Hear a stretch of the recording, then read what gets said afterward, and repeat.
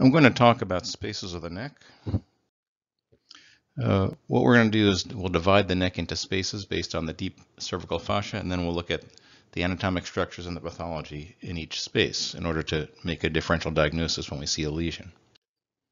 So the deep cervical fascia uh, has three layers, superficial, middle, and deep.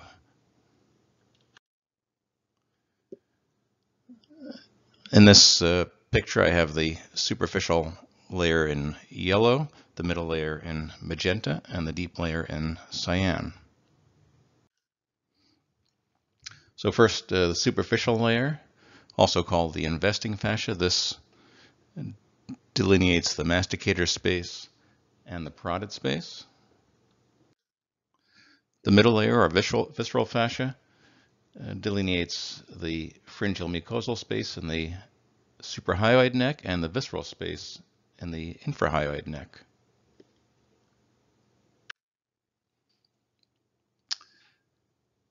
The deep layer delineates the perivertebral space. The, the perivertebral space we can divide into two parts, a prevertebral compartment anterior to the transverse process and a paraspinal compartment posterior to the transverse process. So in the suprahyoid neck, we have the masticator space, parotid space, pharyngeal mucosal space, and perivertebral space. And then we have spaces in between uh, those uh, uh, those that I described. We have the parapharyngeal space in here, which we'll see has both a prestyloid and a retrostyloid component, and we'll have the retropharyngeal and danger spaces in here.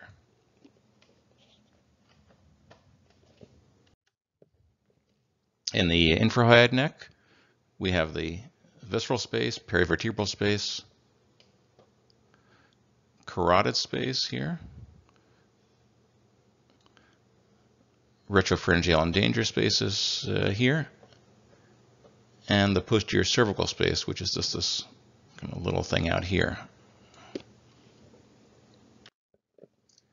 So uh, the through the entire neck, we have the carotid space, which goes through the whole neck. In the upper neck, it's called the retrostyloid parapharyngeal space, and then the lower neck, it's called the carotid space, and then the perivertebral space and retropharyngeal and dangerous spaces also go through the entire neck.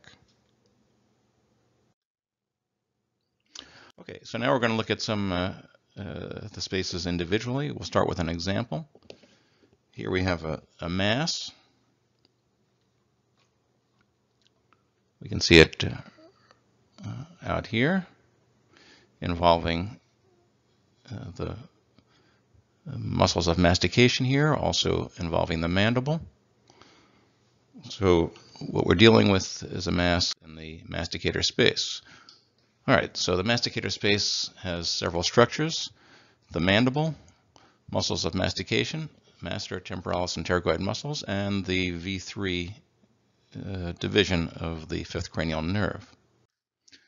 Pathology that we see in the masticator space, infection, often related to the teeth,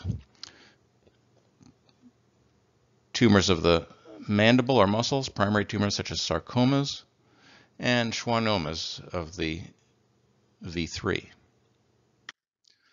Okay, so we go back and look at uh, our original case.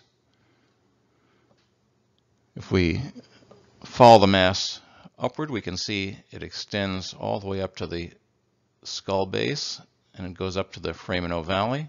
Here it is on post-contrast. We see the mass extending from the foramen ovale all the way down through the masticator space into the mandible, into the canal for the inferior alveolar nerve, which is very enlarged. This is the canal of the inferior alveolar nerve on the opposite side.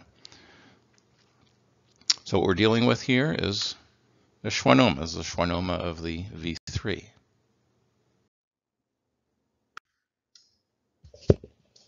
Next space, uh, here's the, the lesion here. I think it's uh, easy to see that this is in the parotid gland, so we're dealing with the parotid space. Parotid space contains the parotid gland, facial nerve, external carotid artery and retromandibular vein, and lymph nodes. So pathology in the parotid space, infection, parotitis or parotid abscess, benign and malignant salivary gland tumors, lymph node metastases, especially from uh, skin cancers, lymphoma, lymphoepithelial cysts in patients with HIV, and first branchial cleft cyst all occur in the parotid space. Now, when we see a lesion in the parotid space, we know the facial nerve runs through the parotid space, so we always need to evaluate the facial nerve. And the place, the best place to do that is just below the stylomastoid foramen. So this is the normal stylomastoid foramen on the right. It's sort of bell-shaped, and people sometimes call it the bell of the stylomastoid foramen. Normally it contains fat, should be fat density. When we look at this side of the where there where we have a parotid mass, uh, we can see that here within that stylomastoid foramen instead of fat density is soft tissue density. We can follow it further along the mastoid segment of the facial nerve canal or the vertical segment. This is the normal mastoid segment on the right. On the left, the mastoid segment is destroyed here. The bone is, is eroded. It's markedly widened. And we can go further up to the tympanic segment. Again, we see the tympanic segment of the facial nerve canal is very wide compared to the, the normal right side. So here we're dealing with a tumor of the parotid gland. This one turned out to be adenoid cystic cancer, which has a very high propensity for perineural spread. Another patient with bilateral parotid space uh, lesions, uh, cystic here in both parotid spaces. Uh, this patient uh, also has uh, enlarged uh, adenoids, some enlarged lymph nodes. This is a patient with HIV, and these are lymphoepithelial lesions of the parotid.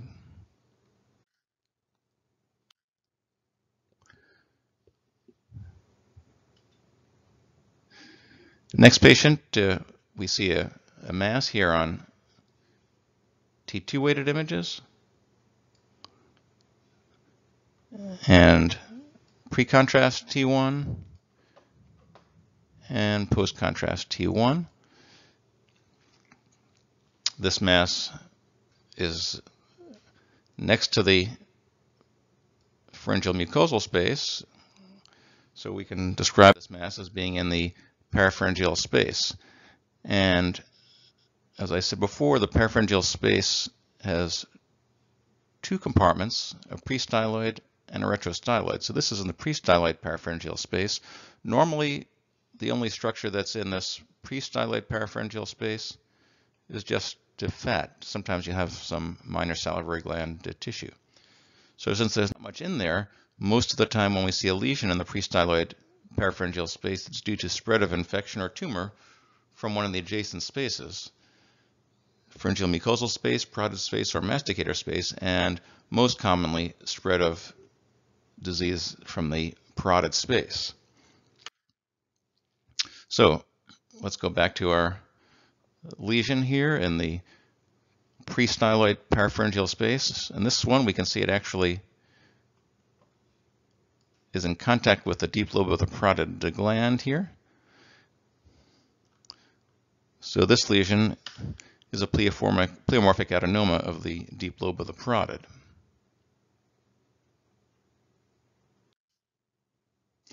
Now this is just to contrast a lesion in the masticator space from a lesion in the prestyloid parapharyngeal space. The masticator space lesion displaces the parapharyngeal the parapharyngeal fat displaces the fat both posteriorly and medially, whereas the prestyloid parapharyngeal space lesion just displaces the parapharyngeal fat medially.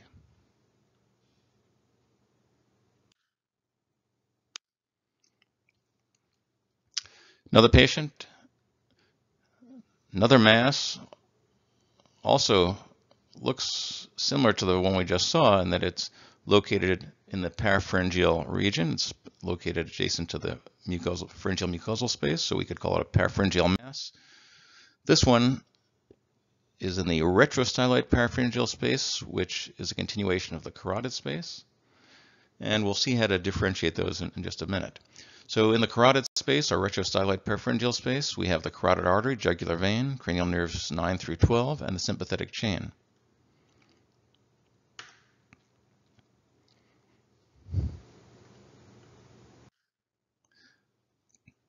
The pathology that we'll see in the retrostyloid parapharyngeal space and carotid space will include carotid aneurysms and dissections, jugular vein thrombosis, schwannomas of the 9th through 12th cranial nerves or the sympathetic chain, and paragangliomas.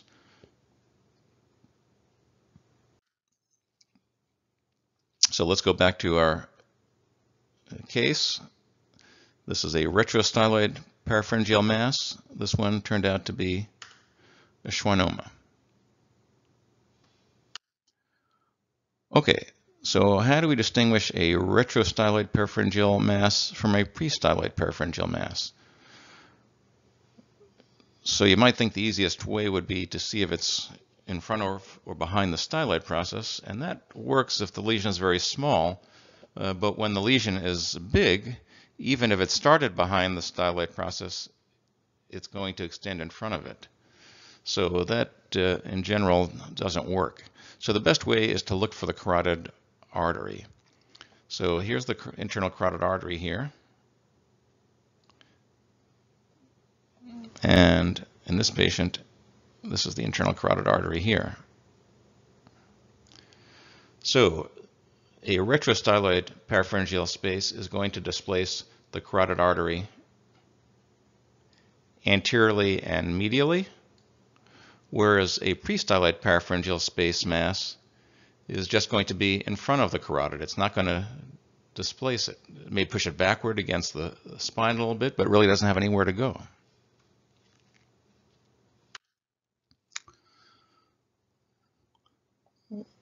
This is lower in the neck, another carotid space mass.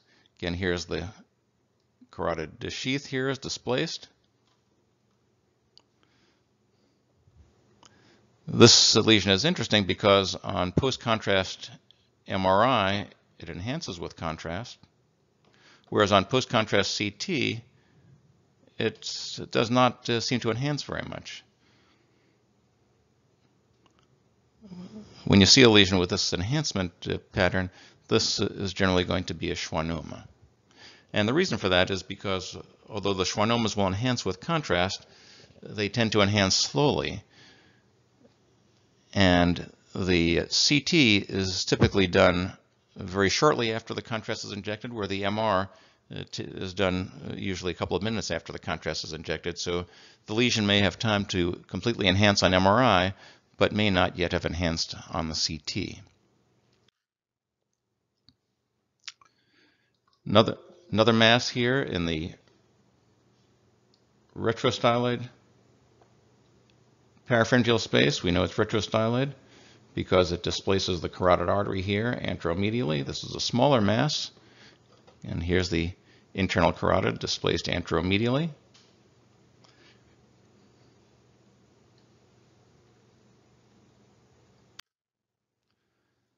In this patient, we did an MR angiogram. This is the MR angiogram, and we can see on the, this is a contrast enhanced MR angiogram, and we can actually see the mass right here behind the internal carotid on this contrast enhanced MR angiogram. So this uh, lesion represents a paraganglioma. This is a glomus vagale paraganglioma. The paragangliomas are named just by where they're located. So if it's in the jugular foramen, then it's a glomus jugulare. If it's just below the skull base, it's a glomus vagale. And if it's at the carotid bifurcation, then it would be a carotid body tumor. So the way we distinguish a schwannoma from a paraganglioma is that the paraganglioma is a hypervascular tumor. So if we do a contrast enhanced MR angiogram or CT angiogram or a conventional angiogram, the paraganglioma will enhance during the arterial phase of the study. Whereas the schwannoma enhances slower, so it will not enhance during the arterial phase. Another patient, here's a mass. This one is between the internal carotid, external carotid here, jugular vein here, and this is the MR angiogram. This is uh, the right side, the normal side. We see the carotid bifurcation, and on the left side, we see the enhancing tumor right in the crotch of that carotid bifurcation. So this is another paraganglioma. This one is a carotid body paraganglioma.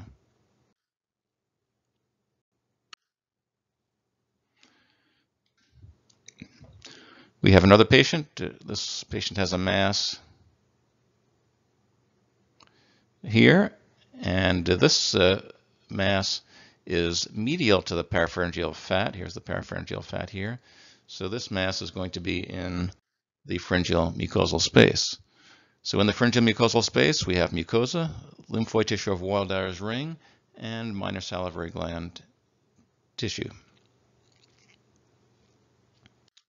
So the pathology we have in the pharyngeal mucosal space, we can get squamous cell cancer, infection, tonsillitis or abscess, lymphoma, minor salivary gland tumors, retention cysts, and Tornwaldt cyst. So here's our patient on the post-contrast images uh, over here. This is post-contrast with fat suppression. There's no enhancement with contrast. So this represents a retention cyst. You can get a retention cyst in any mucosal space, and the key is it's fluid signal and does not enhance with contrast. Now, just to contrast uh, the lesion in the masticator space from the pharyngeal mucosal space, remember the masticator space lesion will displace the parapharyngeal fat inferiorly, it's not inferiorly, excuse me, posteriorly and medially here, posterior and medial, whereas the pharyngeal mucosal space lesion will displace the parapharyngeal fat laterally here.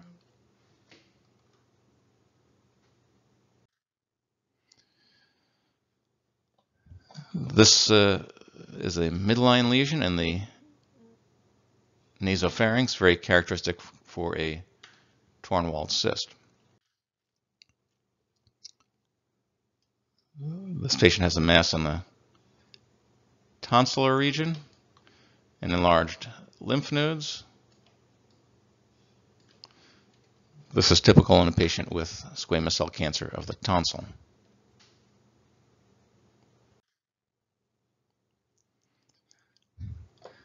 So another patient with a mass in the tonsil here. Again, it's in the pharyngeal mucosal space. Here's the parapharyngeal fat lateral to it. This patient came in with sore throat and fever, and this is a patient with a tonsillitis and a peritonsillar abscess. If you look carefully at the parapharyngeal fat in this patient with the tonsillitis, you can see on the right side the fat is a little bit higher density, a little dirty fat compared to the, the normal parapharyngeal fat on the left side. Uh, this is uh, similar uh, with a, a lesion uh, in the uh, tonsil here. This one, the parapharyngeal fat is normal. There's no enhancement. This patient was asymptomatic, and this is just a retention cyst of the tonsil.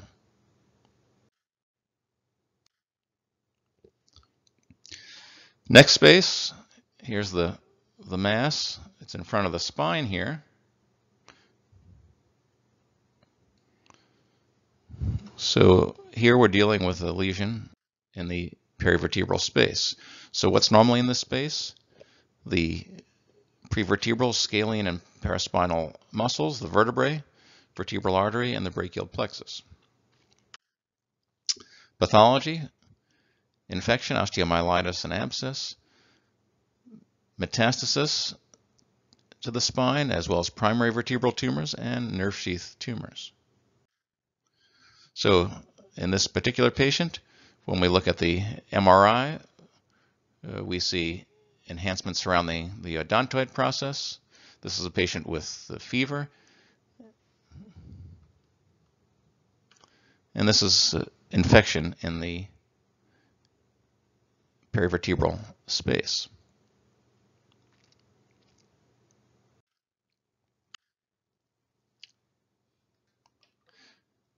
This patient has an, another patient who has a low density lesion in front of the spine here. Here it is.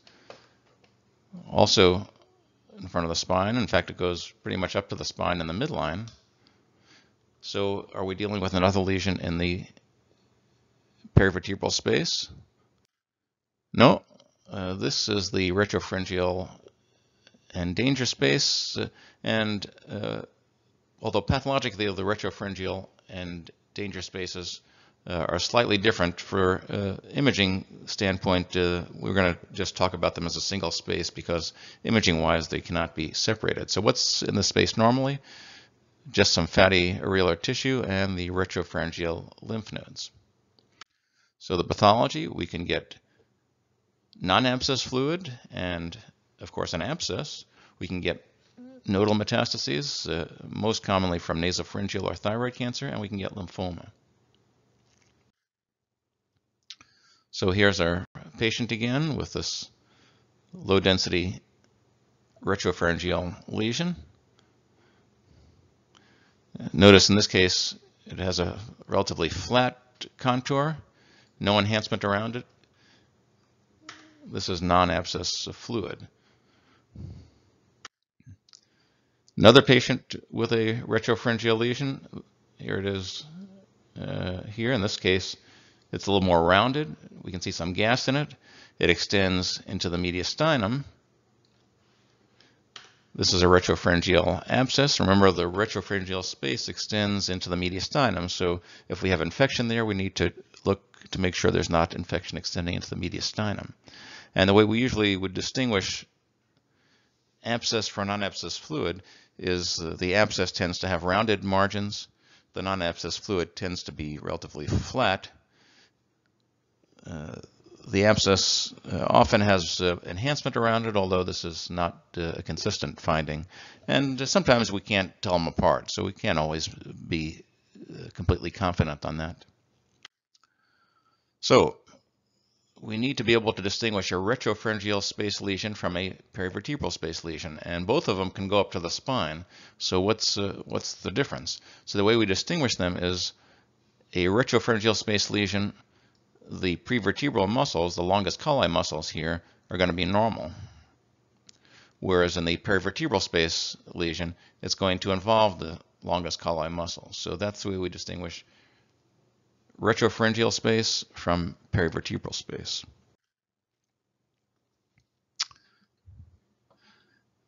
This lesion here is a retropharyngeal lymph node and we know it's a retropharyngeal lymph node because it's between the longus colli muscle here and the internal carotid artery here. So we'll look at some more of this. So this is a retropharyngeal lymph node. This is another patient with a retropharyngeal lymph node here. And again, it's between the longus colli muscle and the internal carotid artery. In this patient, uh, the lymph node is due to this nasopharyngeal cancer right over here. All right, so we need to be able to distinguish a retropharyngeal lymph node from a retrostyloid parapharyngeal mass.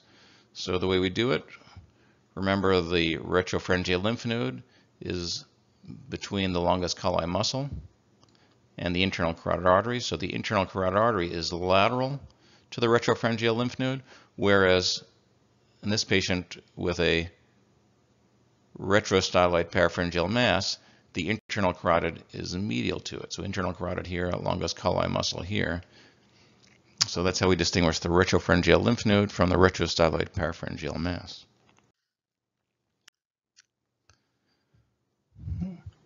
Here we have a large mass involving the larynx. This is in the visceral space. The visceral space contains the larynx and trachea, hypopharynx and cervical esophagus, thyroid and parathyroid glands, and the recurrent laryngeal nerves, as well as lymph nodes. So the lesions we'll see in that space, laryngeal cancer, hypopharyngeal or esophageal cancer, goiters and thyroid cancers, parathyroid adenomas, lymph node metastases and lymphoma, and infrahyoid thyroglossal duct cysts. So this uh, particular patient with this large laryngeal mass, we're dealing with a squamous cell cancer of the larynx. Another patient with a mass here involving the thyroid. A patient with thyroid cancer. You can also see a abnormal lymph node over here. And this is a patient with a esophageal cancer here.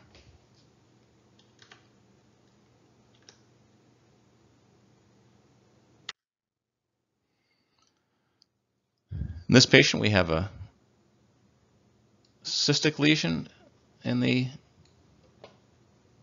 visceral space. And if we uh, look carefully, we can see that the lesion comes up to the midline over here at the hyoid bone. It's a cystic lesion. It's embedded in the strap muscles. Here's the strap muscles embedded in these muscles. This represents a thyroglossal duct cyst, infrahyoid thyroglossal duct cyst. We typically think about a thyroglossal duct cyst as a midline lesion, uh, but the ones below the hyoid bone tend to come to one side or another. Uh, the thyroid cartilage has this pointy configuration, so it, it's very difficult for something to stay in the midline here. So usually they slide off to one side or the other, and this is a typical infrahyoid thyroglossal duct cyst. Finally, the posterior cervical space. Uh, not much uh, in there fat cranial nerve 11 and lymph nodes. Most of the lesions we see in this posterior cervical space are just inflammatory or neoplastic lymph nodes, very rarely a schwannoma. Okay, so now let's just review. Uh, we'll review this, look at the spaces in the upper neck and the spaces in the lower neck.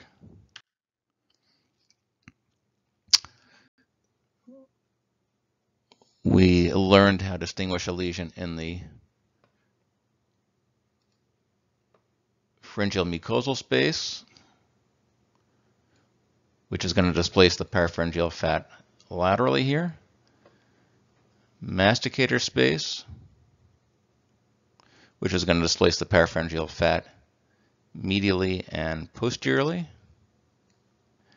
And a prestyloid parapharyngeal uh, space mass, which is going to displace the parapharyngeal fat medially.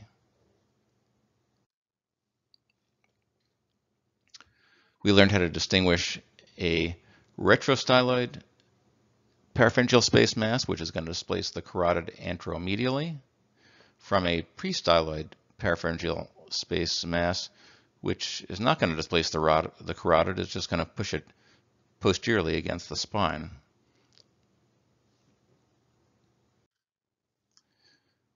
We learned how to distinguish a paraganglioma from a schwannoma in the carotid space. A paraganglioma is a hypervascular lesion, so it will enhance during the arterial phase of an MR angiogram or CT angiogram or a conventional angiogram, whereas a schwannoma enhances more slowly, so it will not enhance during the arterial phase.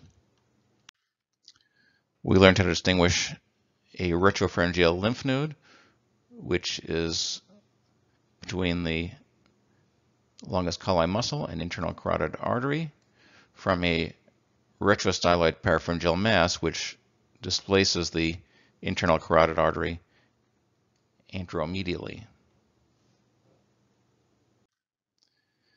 And we learned how to distinguish a lesion in the retropharyngeal space, in which case the longus colli muscles are normal from a lesion in the perivertebral space, which is going to involve the longus colli muscles. When we see a lesion in the masticator space, we always need to evaluate V3.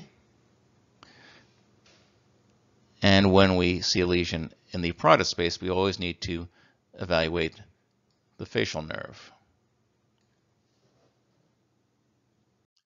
I hope this has been helpful. Thanks for watching.